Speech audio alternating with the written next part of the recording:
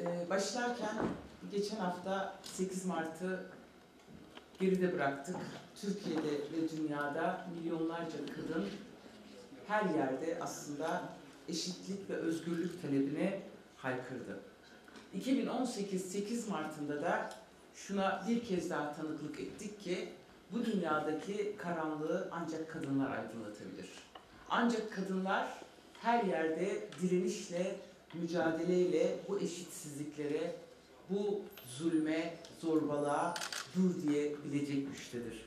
Türkiye'den dünyaya, dünyadan Afrin'e kadar kadınlar aslında aynı dille, aynı çığlıkla kendi e, konumlarını ve dünyaya ilişkin iddialarını bir kez daha ortaya koydular. Bu nedenle 8 Mart vesilesiyle bıraktığımız haftada alanlara çıkan, bu talepleri haykıran bütün kadınlara en içten duygularla selamlarımı, sevgilerimi göndermek istiyorum. Değerli basın mensupları, gündem çok yoğun ama en temel gündemlerimizden bir tanesi de Afrin. Afrin aylardır, 52 gündür ana haber bültenlerinin birinci sırasında hazırlanan, daha önce de planlanan haberler maalesef büyük bir sansür politikası olduğu için tek taraflı bir propagandayla Afrin'e ilişkin haberleri Türkiye ve dünya kamuoyuna duyuruyor söz konusu kanallar. Açıkçası şunu söylemek istiyorum. Afrin'de 52 gün öncesine kadar hiçbir çatışma, hiçbir silah sesi yoktu. Afrin, Suriye içinde genel kurulda da defalarca söyledik, en güvenli, yaşanılabilir bir yer konumundaydı. Suriye Savaşı'nda, iç savaşında, uluslararası paylaşıma müdahil olanların da karıştığı savaşta aslında diğer bölgelerden Afrin'e binlerle, on binlerle bir akış, bir sığınma vardı.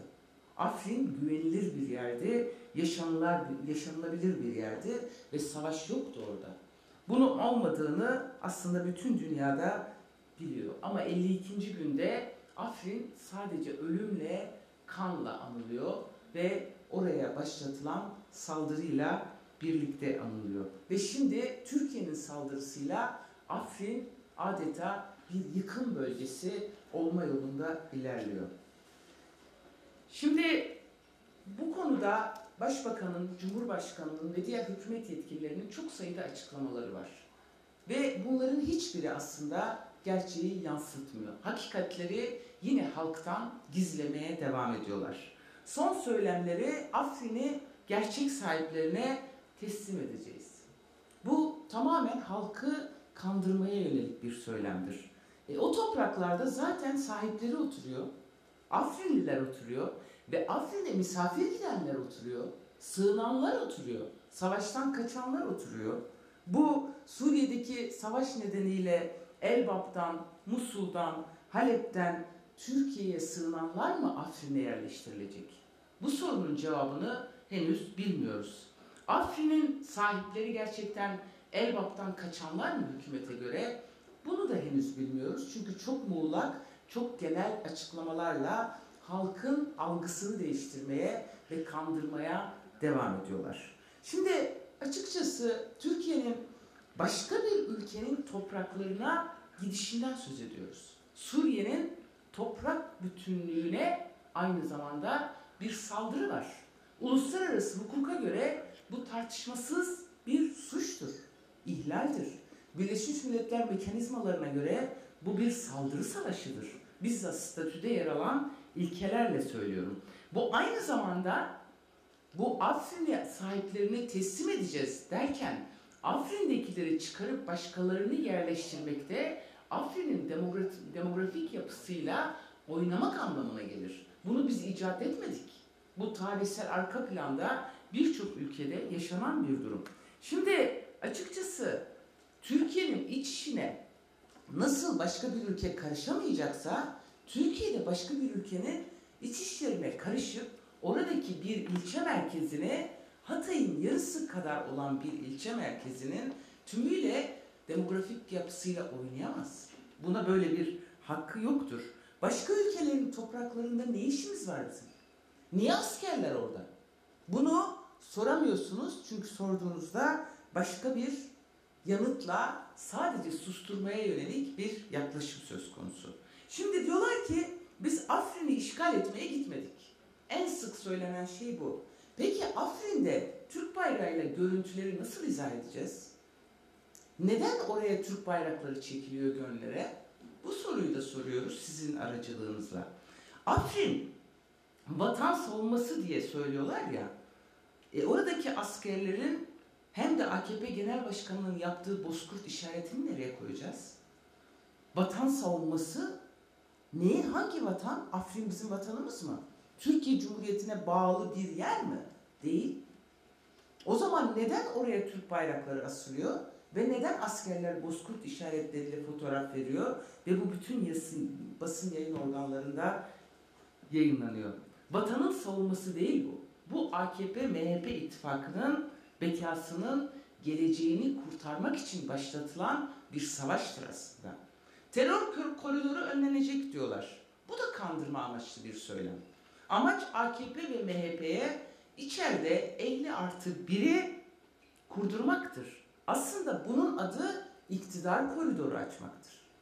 Terör koridoru falan değil. İktidarlarına koridor açmak için bu söylemi söylüyorlar. Ve kendi iktidarlarının bekası için bu ülkeyi topyekün bir savaşa soktular. Şimdi AKP ve MHP kongrelerini izliyoruz. Sizler daha çok izliyorsunuz. Tek gündem Afrin. Kongrelerde basın yayın organlarına, kamuya açık bütün demeçlerde tek gündemleri Afrin. Toprağa düşen, canını yitiren insanlar kongre salonlarının birer gündemi oluyor. Bunlar malzeme olarak kullanılıyor.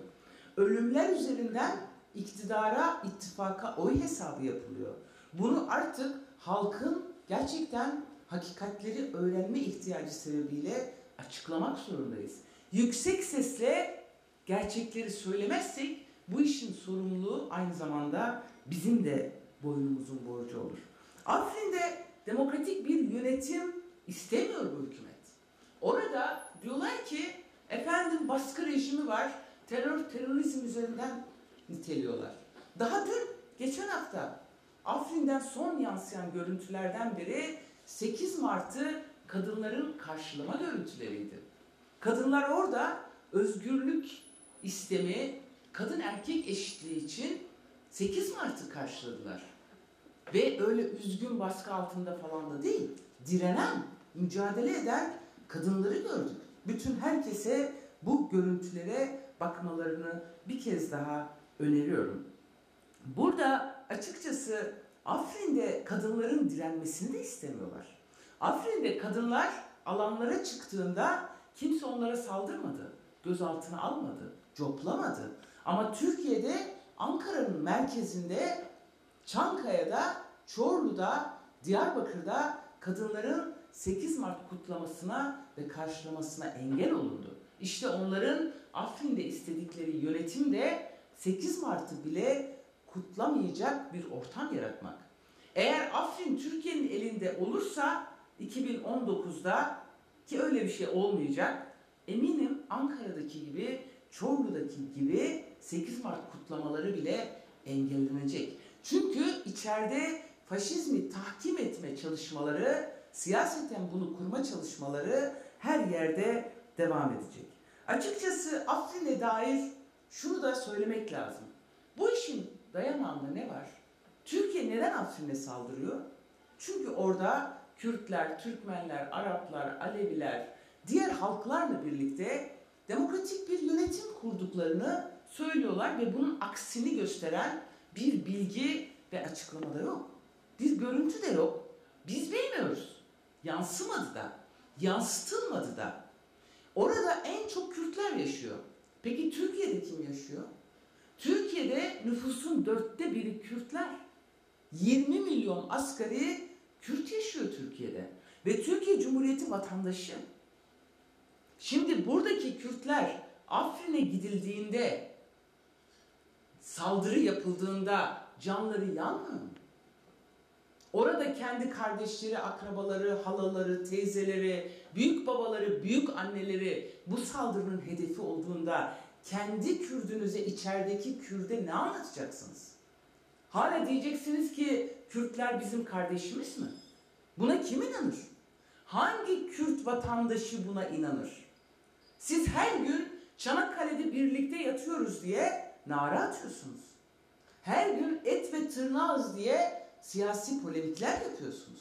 Her gün bizim Kürtlerle bir sorunumuz yok diye siyaset yapıyorsunuz. Ama diğer yandan da Afrin'e saldırırken orada hedefinizde Kürtler olduğunu Sağır Sultan bile biliyor. Dünyanın neresinde olursa olsun bir Kürt yurttaşı bir hak elde ettiğinde, bir statü elde ettiğinde saldırılmasının başka bir izahı yoktur. Varsa bize anlatılsın. Biz açığız. Her türlü tartışmaya açığız. Nasıl ki dün Kobani meselesinde orada Kobani düştü düştü diye düştü düşecek derken Kürtlerde büyük bir kırılma yaşandıysa bugün Afrin meselesinde de Türkiye'de Kürt yurttaşlar arasında büyük bir kırılma, öfke, tepki ve üzüntü var aynı zamanda. Çünkü bunun kabul edilebilir bir yanı yok. Daha önce de söylemiştik. Bir Kürt uzaya gitmeye çalışırsa oradan indirmeye çalışacaklar. Neden? Eğer biz kardeşsek, eğer biz eşitsek dünyanın her yerinde aynı hak ve özgürlüklere bütün insanlık gibi sahip olmamız gerekiyor. Ve Türkiye yurttaşı vatandaşlar resmi olarak Türkiye'ye vatandaşlık bağıyla bağlı olan Kürtlerin bu ülkenin yurttaşı olarak Afrin'e yönelik saldırıyı sorma hakkı vardır. Bu ülkede 20 milyon yurttaş yok sayılamaz. Ve bu AKP-MHP ittifakı da bunun yanıtını tabii ki en yakın seçimlerde cevabını alacaktır. Burada dünyaya da seslenmek istiyorum. Birleşmiş Milletler Güvenlik Konseyi ateşkes kararının arkasında durmak zorundadır. Burada Afrin düşmeyecek, insanlık düşecek.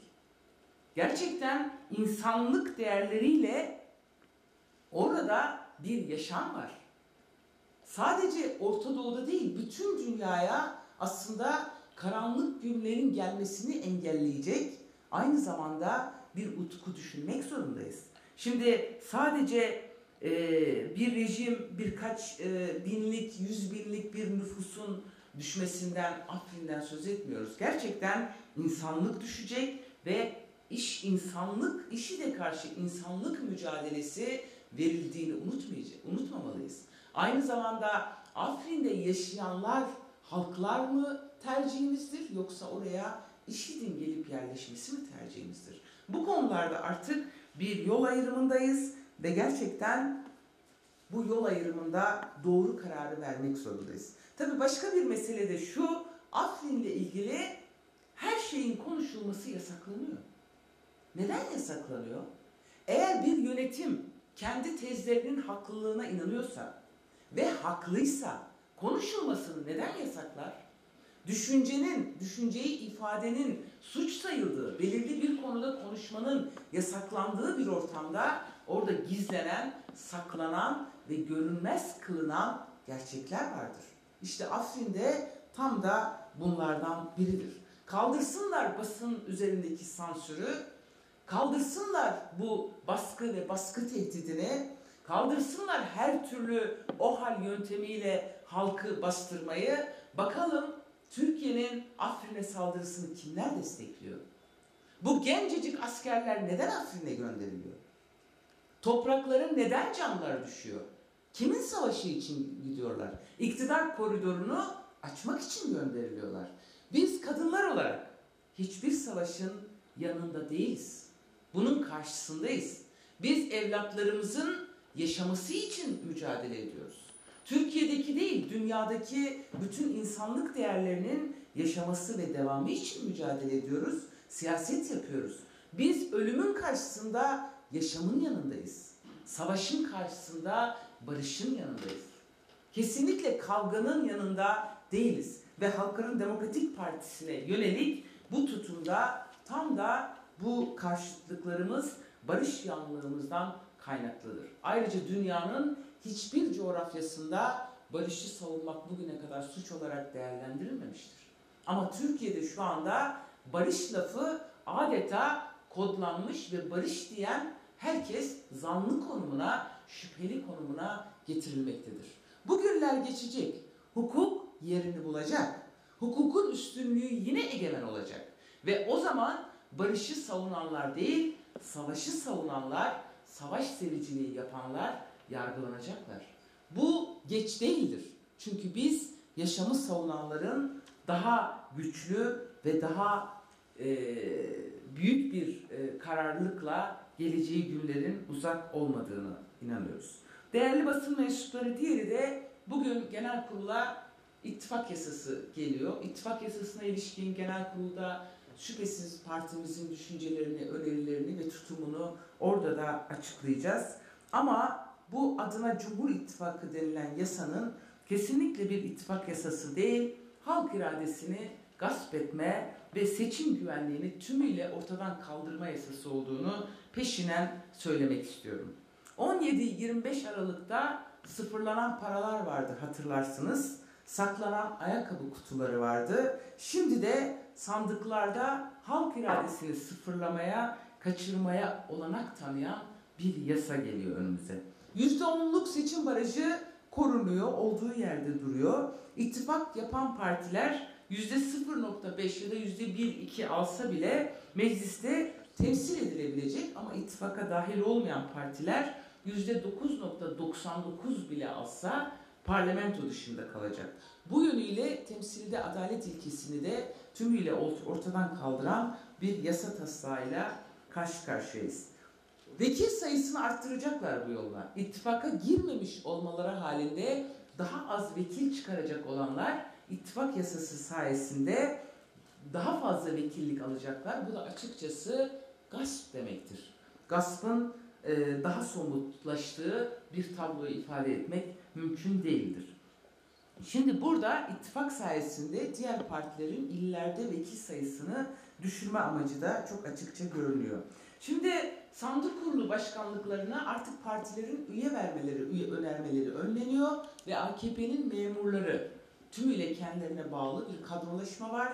AKP'nin kamuda militan kadroları var ve bu militan kadrolardan sandık kurulu başkanları tespit edilecek, seçilecek ve bunlar da her türlü hukuk dışılığa, hileye, şaibeye aldıkları emir gereğince yol açacaklardır. Şimdi açıkçası AKP'nin emir ve talimatlarıyla hareket eden polis, özel harekat, jandarma, jö, pö ve bunun gibi ne kadar oluşum varsa özellikle bunlar bölgedeki sandıklar üzerinde konuşlandırılacak ve halk üzerinde psikolojik baskı ve baskı tehdidi oluşturacaklar. Mühürsüz pusulaların geçersiz sayılması. O 6 Nisan'da bunu yaşamıştık. Mühürsüz pusulaların nasıl geçerli addedildiğini. Açıkçası burada kara para aklar gibi mühürsüz pusulalarda aklanacaktır. Yasa bunu düzenlemektedir. Bu konuda seçmen taşınması, e, mobilize edilmesi ve daha birçok oyunla bu yasada istenilen sonucu çıkarma amacı olduğu bir sır değil. Buna seçim dolandırıcılığı yasası diyebiliriz. Bu bir seçim dolandırıcılığıdır ve peşinen seçimde dolandırıcılık yapacaklarını ilan ediyorlar aslında. Şimdi 7 Haziran korkusu nedeniyledir. O günden önce başlayan, bugüne kadar devam eden bir telaş ve iktidar olma paranoyası. Şimdi halk iradesinin nasıl gasp edildiğini her gün genel kurulda görüyoruz. Vekillikler düşürülerek aslında bunu gasp iradelerinin ve tutumlarını ortaya koyuyorlar. Bu diğer yandan toplumu kutuplaştırma, ayrıştırma aynı zamanda yasasıdır. Bunu da nereden biliyoruz? Erdoğan her fırsatta bu yerli milli ittifaktır diyor. Peki bu Cumhur İttifakı'nda yer almayanlar yerli ve milli olmuyorlar mı? Bu ülkenin yurttaşı olmuyorlar mı? Onları nereye koyacağız? Bu ülkeyi açıkçası karpuz gibi ikiye, üçe bölmektir ve kutuplaştırmayı derinleştirmektir. Bundan da kimseye fayda gelmez. Şimdi bu diğer yandan bu ittifaka oy vermeyenlerin 16 Nisan'da da yaşamıştık. Düşmanlaştırma yasasıdır. Terörize edilme yasasıdır. Yani hatırlarsınız 16 Nisan'da evet demeyenlerin tümü neredeyse terörist ilan edilmişti. Sınırdan dönüldü eleştiriler karşısında ama onlar hafızalardaki yerini koruyor. Zaten AKP iktidarı döneminde en konu, kolay olunan şey terörist olmaktır. Yeter ki onların sözünün aksine bir söz söyleyin hemen terörist oluverirsiniz. Öyle sınır mınır da yok. Yani herkes kim olursa olsun bunu yapıyorlar. Şimdi HDP'nin konumuna gelince biz ittifaklara karşı değiliz aslında parti olarak. Biz kendimiz parti olarak demokrasi, barış, özgürlükler, kadın, ekoloji birçok mesele açısından biz bir emek ittifakı, güç birliği, farklı partilerle ve kesimlerle ittifak yapan bir çatı parti konumundayız aynı zamanda. Şimdi bu nedenle AKP-MHP ortaklığına ittifak, demek de büyük bir yanılgıdır. Halkı yanıltmaktan başka bir şey değildir. Bu ittifakın adını, e, bu ortaklığın adını daha doğrusu bu nedenle net koymak gerekiyor. Bu bir ortaklıktır. Bu demokratik bir ittifak değildir. Bu koltuk koruma koalisyonudur. Koltuklarını korumak için böyle bir koalisyon yapma yoluna gitmişlerdir. Zaten bu ittifak yasası hazırlanmadan Anayasa Komisyonu'na gelmeden önce ne farklı STK'ların, kurumların ne diğer partilerin hiçbirimizin bundan bilgisi yoktu. Erdoğan ve Bahçeli içinde hiç kadın olmayan birkaç erkek bunu yazdılar, getirdiler. Belki Başbakan da Anayasa Komisyonu'na gelinceye kadar bir haberdi bu ittifak yasasından. Çünkü yapılış sürecini hep birlikte biliyoruz ne kadar kapalı olduğunu. Şimdi peki bu ittifakı bugün canhıraş bir şekilde savunanlar geçmişte koalisyon ve ittifaklara ne diyorlardı? Aslında onu hatırlamak lazım. 7 Haziran son, sonrasında koalisyonların ne menen bir şey olduğu, ne kadar kötü olduğu, ne kadar zararlı olduğunu meydan meydan geziyorlardı. Her yerde bunu anlatıyorlardı. İstikrara tehdit olduğunu anlatıyorlardı ve koalisyon kaos getirir gibi ünlü bir cümleleri de vardı. Şimdi bugün koltuk koalisyonu kuranlar 16 Nisan şaibeli referandumdu aynı zamanda. Bir daha hiçbir zaman koalisyon olmayacak diye başkanlık sistemi için oy istediler. Çok geç bir tarih değil. Daha bir yılını doldurmadı. Bu nedenle AKP, MHP koalisyon kuruyor ve bunu kurmaya çalışırken de halkı kandırarak buna ittifak demeyi tercih ediyorlar. Peki bunun temel nosyonu ne? Misyonu, vizyonu ne? Kürt karşıtlığı üzerine, Kürtleri yok saymak üzerine, toplumda demokrasi, özgürlük, barış taleplerini yükseltenleri baskılamak üzerine kurulu bir koalisyon. Seçmenin iradesini gasp etmek üzerine kurulan bir koalisyondur. Bunlar bir oyun kuruyor ama biz bu oyunu bozacağız. Bundan halkımızın hiçbir kuşkusu olmasın. Halkımızın desteğiyle Türkiye demokrasi güçlerinin, emekçilerin, kadınların bu koalisyona karşı HDP'yi şahlandıracaktırlar. Kesinlikle ne oyunu kurarlarsa kursunlar bu oyunu bozmak boynumuzun borcudur. Bu konuda halkımız hiçbir tereddüte kapılmasın. Bunlar vekillerimizi cezaevinde rehin tutuyor olabilirler. Vekillikleri düşürüyor olabilirler. Binlerce parti üyemizi tutukluyor olabilirler. Ama tek bir an çalışmalarımızı durduramadılar ve milyonları bu sevdadan, bu özgürlük ve demokrasi yürüyüşünden vazgeçiremediler, geçiremeyecekler. Bu ülkede mütemadiyen karanlık ve soğuk bir kış yaşatmak isteyen bu koltuk koalisyonunun oyununu bozacak aydınlık ve sıcacık bir baharı bizler getireceğiz.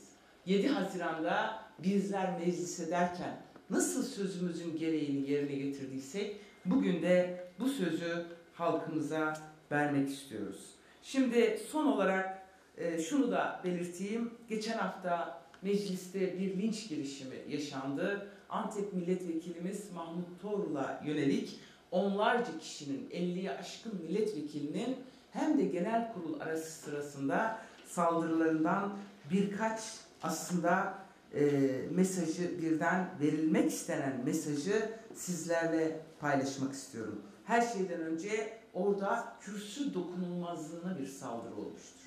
Mahmut Toğrul Afrin konusunda bir konuşma yapmış ve buna sözle cevap veremeyenler şiddete başvurmuştur. Meclis şiddetin değil, sözün gücünün olduğu bir yerdir. Biz kürsüde düşüncelerimizi özgürce ifade edemeyeceksek ya da bir milletvekili kürsüde özgürce konuşamayacaksa nerede konuşacaktır? Bu da kendilerinin tahammülsüzlüklerini ve aslında hukuksuzluklarını doruğa taşımanın başka bir resmi olmaya devam ediyor. Mecliste yaşanan bir linç girişimidir ve bu linç girişimine karşı her türlü e, mücadeleyi ve başvuruları yapacağız. Hem e, 45 günlük rapor üzerine suç duyurularımızı hem de meclis başkanlığına gerekli başvuruları yapacağımızı söyleyelim. Ve mecliste bir milletvekiline yaptığı konuşma sebebiyle bu uygulamayı reva görenler, linç girişiminde bulunanlar cezaevlerinde, gözaltı merkezlerinde, Afrin'de neler yapıyordur bir düşünün derim.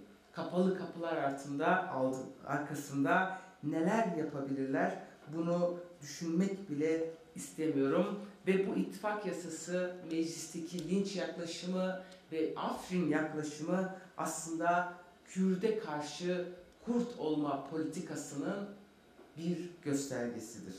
Bu aslına dönüştür ama bu politika kazandırmayacak. Dün nasıl kaybettirdiyse bundan sonra da kaybettirmeye devam edecek diyorum. Teşekkür ediyorum. Sorunuz varsa alayım yoksa. Bozkurt selamını, e, Bozkurt işareti yapmasını nasıl değerlendiriyorsunuz? Uzun uzun bahsettiniz gerçi ittifakın ruhundan ama Evet yani aslında bahsettim. Kürde karşı kurt olma politikası. Bu aslında birbirlerinden hiçbir farkı olmadığını e, şu ana kadar e, hem Bahçeli hem Erdoğan hem de Kılıçdaroğlu'nun hem de Akşener'in dün bolca yayınlandığı e, kurt işaretlerinin aslında e, aralarındaki farklılığın ne kadar inceleştiğini ve Kürt söz konusu olunca, Kürtlerin hak ve özgürlük talebi söz konusu olunca nasıl kurda dönüştüklerini göstermesi açısından dikkat çekicidir. Var mı başka arkadaşlar? Teşekkür ediyoruz. İyi çalışmalar.